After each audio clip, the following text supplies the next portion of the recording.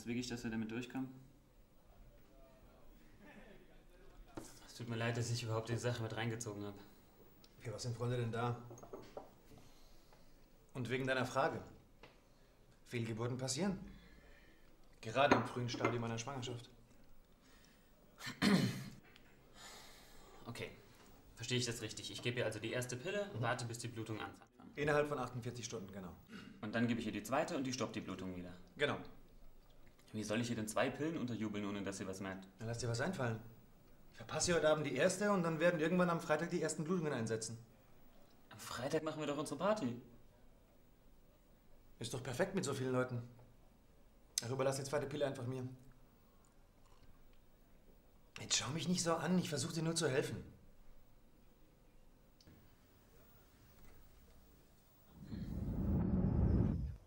Lass es liegen, aber gib mir das scheiß Valium. Was ist denn das, hä? Lass mich los. Reißt du so dein neues Küchenmesser aus? Lass mich los.